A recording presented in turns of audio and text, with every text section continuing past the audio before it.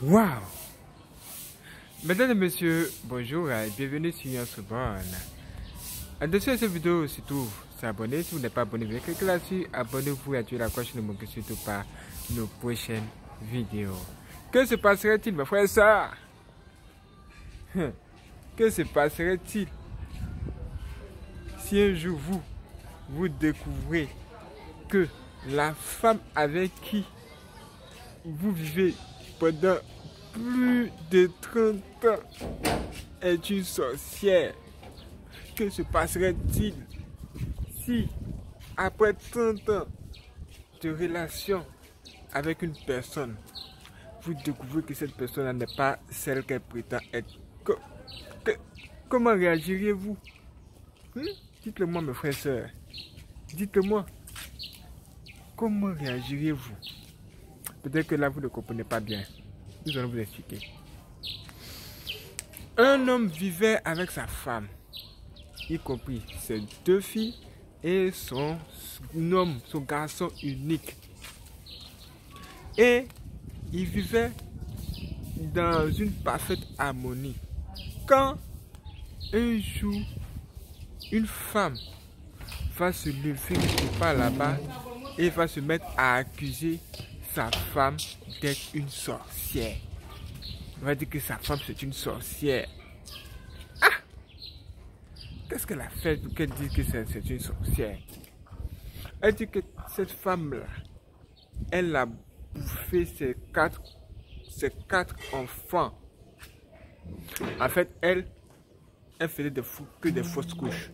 Et un jour, elle est allée voir un homme mystique et cet homme mystique lui a révélé que ça, y a une femme de son quartier là qui vient toujours la visiter, même là où elle vend ses marchandises là. En fait, cette femme qui vient la visiter là, c'est elle qui mange ses enfants qui se trouvent dans son ventre. C'est pourquoi elle, elle fait fausse couche à chaque fois. Et depuis que ce marabout a révélé cela à cette femme là, cette femme a pour elle, l'autre femme qui arrive là, c'est le diable. Et pour elle, c'est sa, sorcière là même qu'elle a. Et Damel a accueilli même cette femme à elle est venue la voir, mais le jour qui a, suivi même cette révélation, si Dieu le sait. Dès qu'elle a accueilli, dès qu'elle a pu la mettre en sorcière, tout le quartier voyait ça.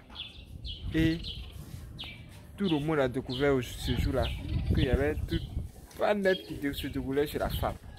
Mais la sorcellerie là, on ne peut pas dire que quelqu'un est, sorcier sans des preuves. Et malheureusement, seuls ceux qui connaissent les signes de la sorcellerie savent qu'une personne est sorcière ou pas. Et entre les sorciers, entre eux, ils, se connaissent. Et les mystiques, comme les féticheurs, tout cela, ils peuvent reconnaître qu'ils sont les sorciers parce qu'ils ont le troisième œil. Mais elle, qui est humaine, elle ne peut pas démontrer par A plus B que cette femme elle est sorcière en réalité. Mais ce qu'elle su, elle croit aux révélations du féticheur ou encore du marabout. Voici comment elle a traité cette femme de sorcière. Et effectivement, cette femme a perdu quatre enfants, quatre fausses couches. C'est pas une bonne affaire. Quand vous voyez que, quand vous voyez que vous avez de tels problèmes là, n'allez pas voir le féticheur des marabouts. Cherchez un homme de Dieu qui va vous aider, même vous donner des conseils. Et si vous venez attaquer cette personne physiquement, cette personne ne va jamais vous dire qu'elle est sorcière. Si tu l'attaques et puis tu lui dis tu es une sorcière, toi tu es une sorcière, toi là tu es une sorcière, à quoi ça va servir? Cette personne va dire non, tu te trompes. Où sont les preuves qui montrent que moi je suis une personne sorcière? Tu ne sauras que tu ne sauras rien dire. C'est pourquoi Dieu lui-même nous a aidés en nous disant cette parole intéressante qui, où il a dit ne, ne, ne combattez point la chair. Il nous demande de ne pas combattre la chair. Nos combats ce n'est pas contre la chair et le sang, mais ce sont contre les choses qui sont spirituelles, comme les démons, les esprits, les mauvais esprits qui travaillent. Si elle, elle est sorcière, c'est qu'il y a un esprit qui est en elle, qui est l'esprit de la sorcellerie, accompagné de ces démons qu'il faut neutraliser dans la prière, dans la prière, avec des âmes qui ne sont pas chanel, comme insulter quelqu'un, faire de la bagarre. Cette femme ne savait pas ça. Mais ce qu'elle a su, c'est que ce, que ce qui venait de se passer est entré dans les oreilles de son mari. Du mari à cette femme-là même qui est accusée d'être une sorcière. Et ce jour-là, ce jour-là, cet homme, il se posait des questions de sa mère. Comme une femme avec qui j'ai vécu plus de 30 ans peut-elle être une sorcière Si on pouvait ne serait-ce que croire à cette affirmation de cette femme-là? Il s'étonnait, il se posait tas de questions sur le sujet. Quand un jour va venir où cette femme-là va décider de se venger, celle-là même qui a été accusée de sorcellerie, là, la nuit, elle va sortir de son corps et se rendre dans le monde pour appeler lames de celle qui l'a accusée de sorcellerie là, afin de la tuer. Celle qui l'a accusée de sorcellerie, elle n'était pas protégée. C'est-à-dire, elle n'avait pas Jésus-Christ dans sa vie, ni une autre protection. Elle, n'était pas dans ce genre de choses mauvaises. Mais tout ce que ça a fait, c'était consulter les esprits ou encore les féticheurs, sans être protégée. Si vous n'êtes pas bien protégé, n'accusez pas quelqu'un de sorcier. Hein. C'est seulement ceux ont Jésus-Christ dans leur vie et qui ont la crainte de Dieu qui peuvent agir comme ça. Et même, ils ne doivent même pas agir de la sorte. On ne possède pas comme ça chez nous. On possède différemment, avec intelligence. c'est dans la prière que ça se passe. Donc, cette même nuit-là, cette femme-là, donc, qui a été accusée de sorcière, est sortie de son corps pour aller tout simplement de leur monde là-bas pour appeler l'esprit de la femme là. Et son esprit est apparu là-bas, son âme est apparue. Et ils l'ont tué à coup de poignard. Ils ont poignardé son âme dans le monde des esprits. Et ils ont mangé son, son, son corps. Ils ont mangé sa chair en esprit. Son âme était déjà foutue. C'était fini pour elle. Le matin, quand elle, cette femme-là, de son côté, son mari s'est levé, il a trouvé le matin morte sur son lit. Mais pendant que cette femme-là, sorcière, la même en question, sortait de son corps, là, elle, elle ne savait pas que son mari avec qui elle dormait sur le lit, lui, il s'était réveillé après. C'est-à-dire, elle devait effectuer une sortie astrale. Pour sortir de son corps, là, vous savez ce qu'elle fait? Cette femme sorcière, là, elle regarde son, sur le lit. Elle regarde son mari. Elle regarde, elle vérifie s'il est profondément endormi. Et quand il est profondément endormi, elle, elle sort de son corps, elle se transforme en chat, et puis, bouf, elle disparaît. Le voyage a commencé. C'est ce qu'elle fait, tout le temps. Tout le temps, tout le temps, tout le temps, tout le temps, c'est ce qu'elle faisait. Maintenant, ce jour-là, ce jour-là même où ils sont les mêmes consommer même la femme, où ils sont les tués, tués ou encore manger même la femme qu'il a accusée de sorcellerie. C'est ce même jour-là où elle est sortie de son corps. Là. Son mari aussi, lui aussi, s'est levé bizarrement la même nuit. Il s'est levé la même nuit là. Et quand il s'est levé, il a tout de suite regardé juste à côté de lui et il voit une personne morte. Elle est morte ou bien? Il a touché. Il appelle par son nom. Elle ne répond pas. Il appelle encore, il la touche. Ah, mais qu'est-ce qu'il ne va pas avec elle? Il soulève son bas, elle se laisse tomber. Il soulève son bas, elle se laisse tomber. Ah Comment ça se fait? Attends. Est-ce que ce que les gens disent là même, est-ce que c'est pas vrai par hasard?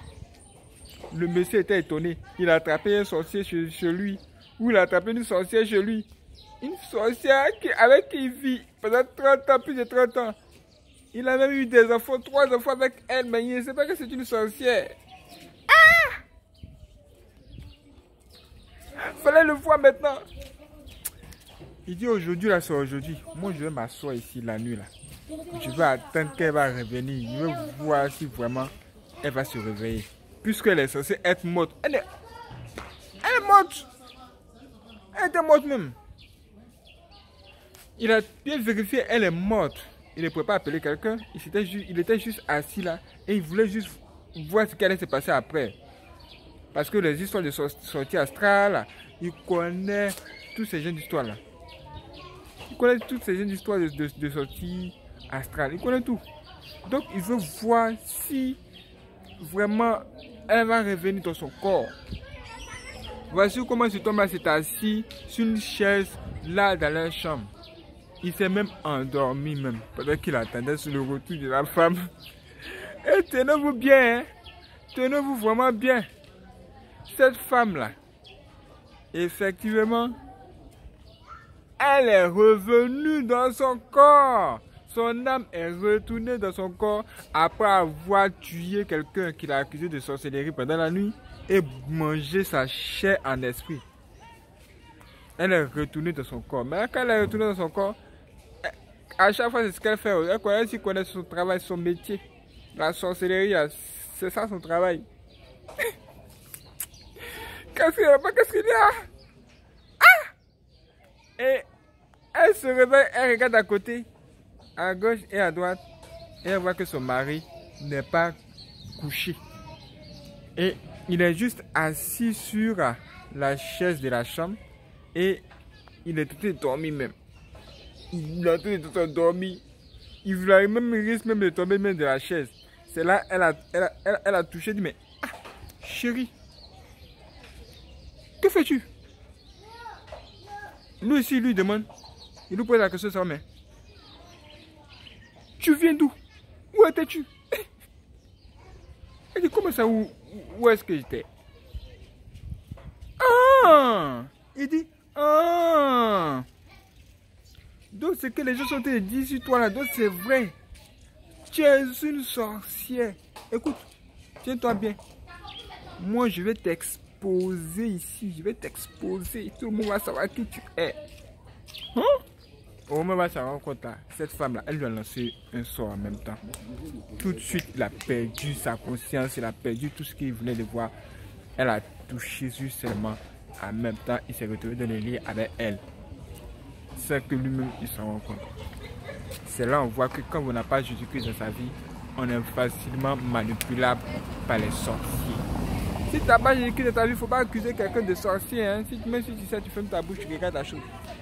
C'est seulement ceux qui ont la crainte de Dieu et qui ont Jésus-Christ dans leur vie qui peuvent dire des choses là. Sinon, ah, comment tu vas faire? Il faut avoir Jésus-Christ dans ta vie, ça c'est le plus recommandé. L'homme n'avait pas Jésus-Christ dans sa vie et sa famille était ouverte. Et à un moment donné là, sa femme sorcière, elle a décidé avec ces gens qui se trouvaient dans leur monde de sorciers de sacrifier tous les enfants. Et à leur réunion là, tenez-vous bien, hein, à leur réunion de sorcellerie, ces gens là, ils se rencontrent là et chacun imagine ce qu'ils vont offrir au diable. Oui, là-bas il, y a les mamans, les mamans, les mères de famille qui ont des enfants. Et chaque personne, chaque personne là-bas doit offrir quelque chose pour la fête. Une femme carrément, avec joie, elle a dit à son groupe de sorciers que elle, elle va les offrir son unique fille. Et elle riait. Pour eux, c'est une joie. Parce qu'ils sont possédés. Ils sont gravement possédés. Pour eux, c'est une joie. Je vais offrir ma, mon, mon, mon, enfant. Son seul enfant qu'elle a là, elle va l'offrir, elle va le tuer sa seule fille, qu'elle a, elle va tuer sa fille, elle va fuir sa fille en sacrifice. Maintenant, elle, dans la vie réelle, comme ça, vous allez la voir, elle n'a pas d'enfant, et vous, vous allez même vous prendre à sa place pour dire, ah, pourquoi elle n'a pas d'enfant, cette femme, elle, est comme ça? Pourquoi Dieu même fait de telles choses même mauvaises? Pourquoi il fait comme ceci Il ne fait pas comme ça? Toi-même, tu ne vas pas connaître l'histoire, mais tu ne vas pas savoir que c'est elle-même qui a mangé même son enfant même vas même te lancer dans cette affaire-là. C'est pourquoi même dans certaines choses, il faut se taire souvent, c'est mieux. Trop parler là même, ça nous a même dit des choses bizarres, même que Dieu nous pardonne aujourd'hui. Et c'était ça. Et cette femme-là, elle, puisque son mari avait découvert qui elle était, en fait, son état spirituel, elle a décidé de faire du mal à son mari. En fait, elle a décidé de le tuer. Et de le moins des sorciers là-bas, il faut commencer à comploter ou encore à, s'imaginer comment vont-ils faire pour tuer ce monsieur. pendant le même temps là, cet homme, il avait commencé même à avoir même peur de sa femme. Et il a commencé déjà à donner de vrais conseils à son fils. En commençant par lui dire que dans la vie, il ne faut jamais faire confiance à qui que ce soit. Il disait ça seulement à son fils. C'est ce qu'il disait seulement à son fils. À chaque fois, c'est ce qu'il lui disait. Son fils, même à un moment donné, même se posait même des questions. Mais papa, mon père, pourquoi me parles-tu ainsi? Qu'est-ce qui ne va pas avec toi? Ou bien tu as mal dormi la nuit? Son père dit, mon fils, je suis ton père, écoute-moi bien. Il ne faut jamais faire confiance à qui que ce soit. En fait, il a cru qu'il connaissait sa femme. Mais il ne savait pas que c'était une sorcière. Il ne savait pas que c'était une sorcière. Ça me fait rire parce qu'il y a des gens qui ne croient pas à ce genre d'histoire de sorcellerie. Parce que quoi, on en parle, c'est la blague. Si nous faisons, parlons ici aujourd'hui, nous vous racontons même cette histoire. C'est pour vous dire, si vous n'avez pas Dieu dans votre vie, acceptez Jésus-Christ maintenant, vous serez bien protégé. C'est tout.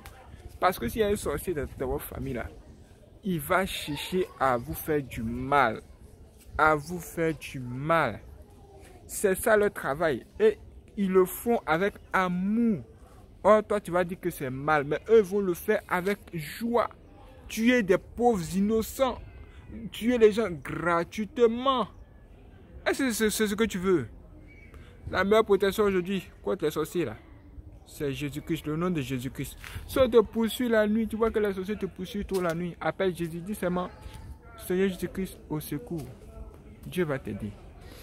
Donc, comme on vous l'a dit, cette femme-là maintenant a commencé avec son groupe de sorciers à comploter sur comment ils vont faire pour tuer son mari.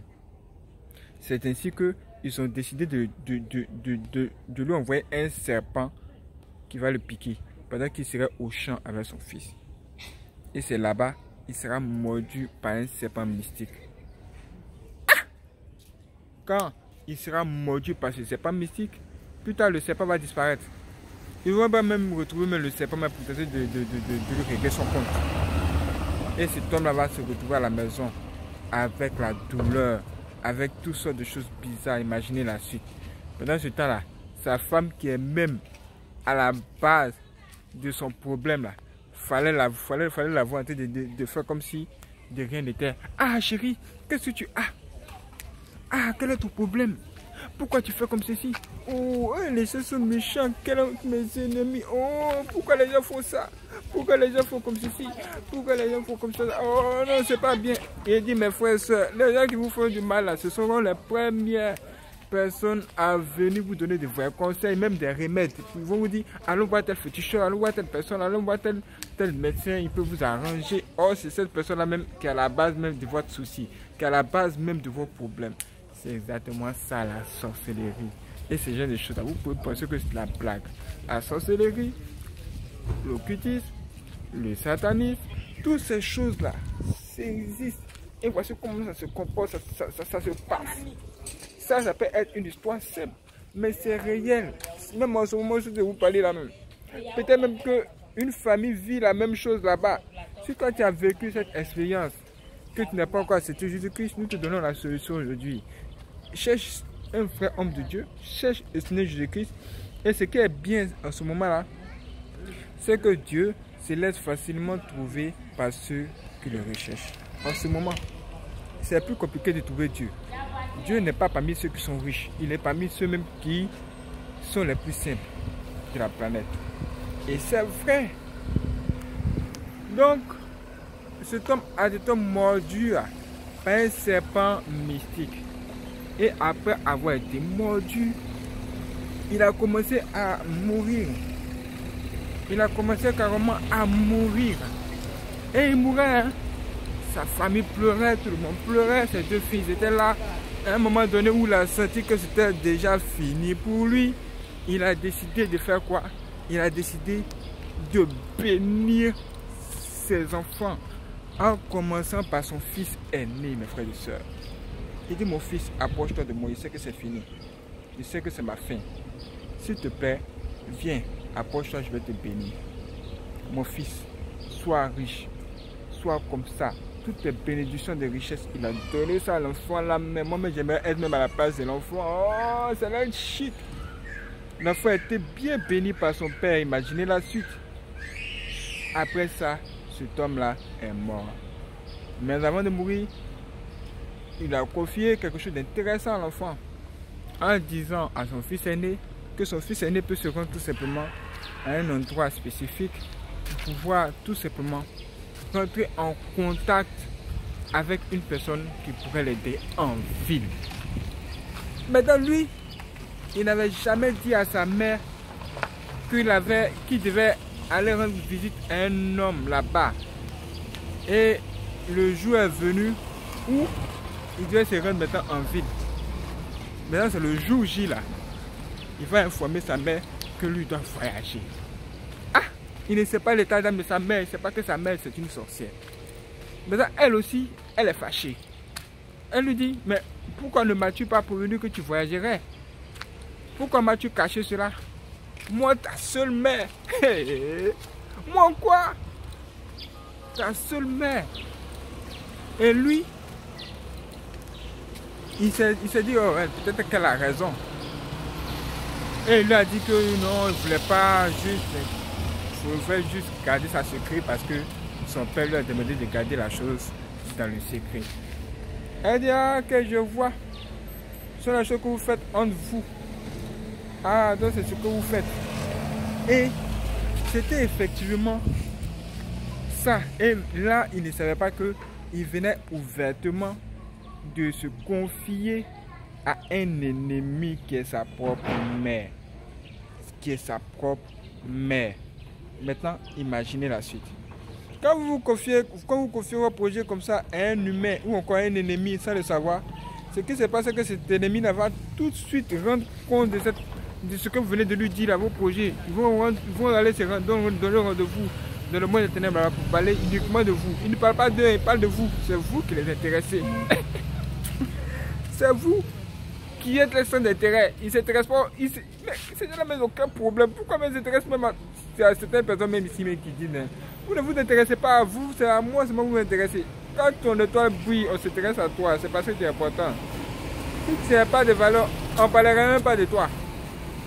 Qui allait même perdre son temps même pour parler de toi ici Oui C'est parce que tu as de la valeur. Excusez-nous pour le bruit. Hein. Et voici que cet homme va ouvrir une porte au monde des ténèbres.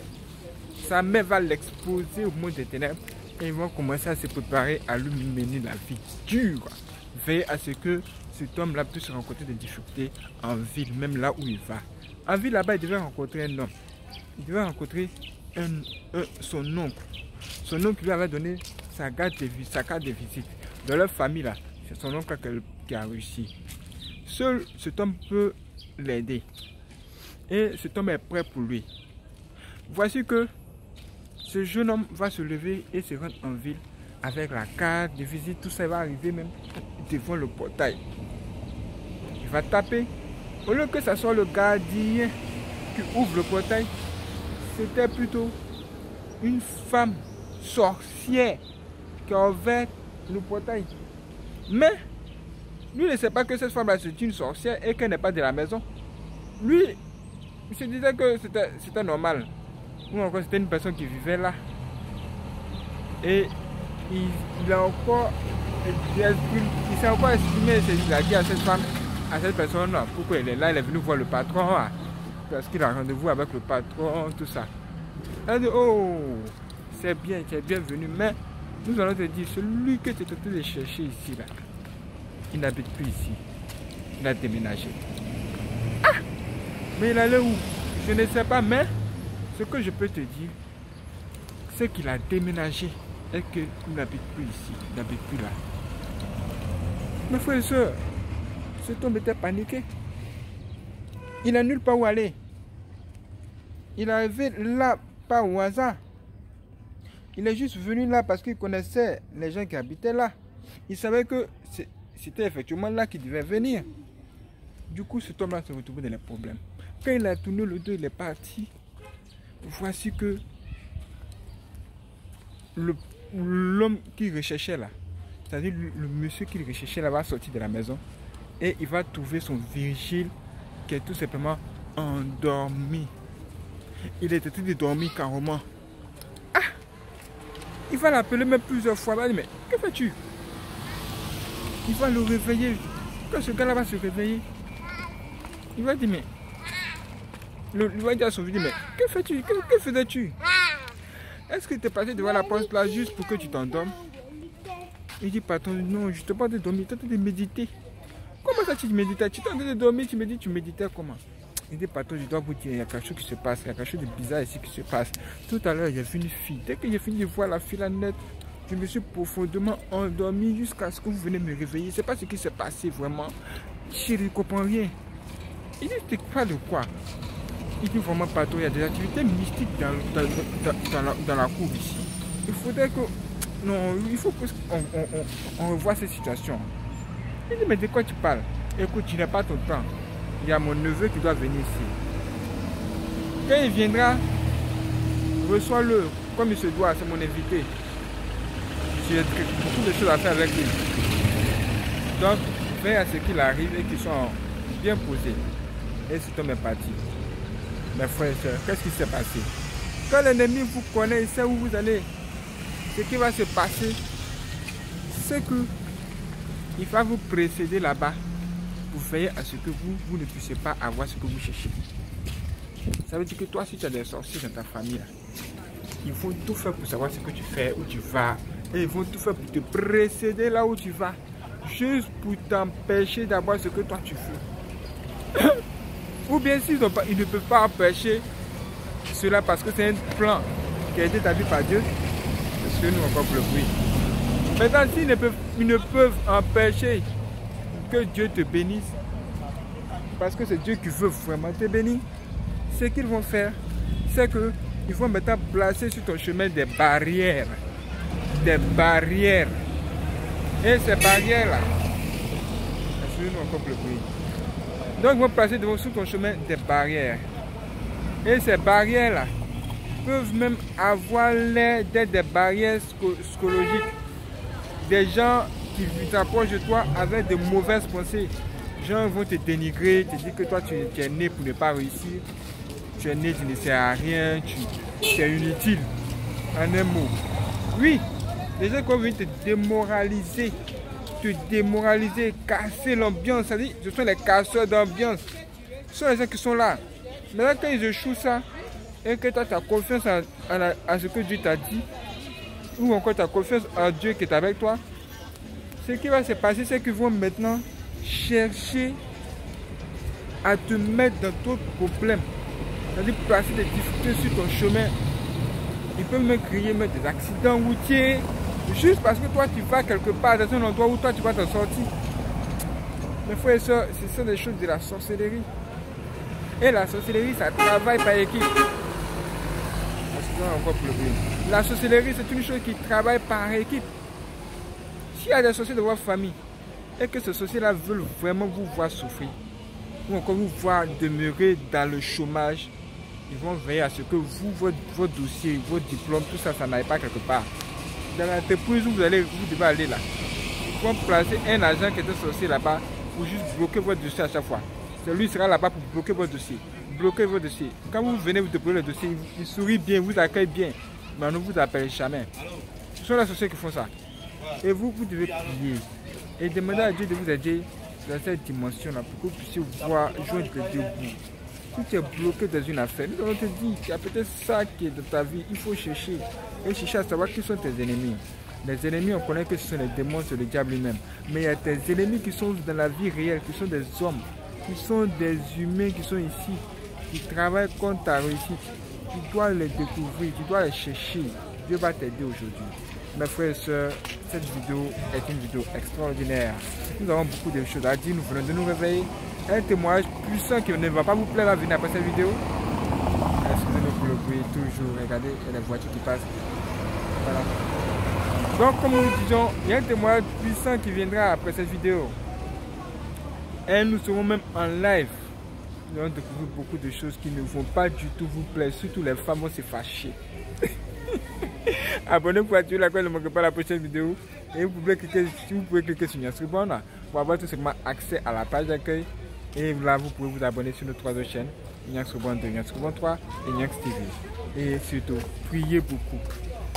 priez beaucoup et demandez à Dieu de vous révéler qui sont véritablement vos ennemis qui se trouvent dans le monde des esprits et qui, se, travaillent même dans le monde physique aussi contre votre vie. Retenez bien une chose. Si vous avez vraiment Dieu dans votre vie et que vous avez la crainte de Dieu, toute âme forgée contre vous sera sans effet. Ils mettront même, pourront même savoir où même vous allez. Mais ils ne pourront rien vous faire pour vous arrêter parce que Dieu sera avec vous. Ils pourront même se lever à 10 milliards de sorciers, 10 milliards de satanistes et se positionner sur vos chemins comme ces trucs-là même que vous voyez sur, sur le chemin ici et là. Mais ils ne pourront jamais vous arrêter parce que Dieu est avec vous. Mes frères et sœurs, retenez ça. Et surtout, ne baissez jamais les bras, ne soyez pas découragés par les gens qui viennent vous dire Oh, vous n'êtes rien, vous n'allez pas réussir, vous êtes maudit, genre de choses. Mes frères et sœurs, si vous mettez ça dans votre tête, je dis bien, si vous mettez cette pensée dans votre tête, ça va prendre forme dans votre vie. Il faut les rejeter au maximum. Il ne faut même pas permettre à des gens de venir vous, vous, vous, vous mettre dans la tête des pensées négatives si Dieu vous a, Dieu vous a créé à son image, c'est pour que vous, vous, vous, deveniez quelqu'un. Dieu vous a créé à son image, précise, c'est pour que vous, vous deveniez quelqu'un. Vous êtes fait pour réussir, non pour souffrir. Que Dieu vous aide aujourd'hui. Que le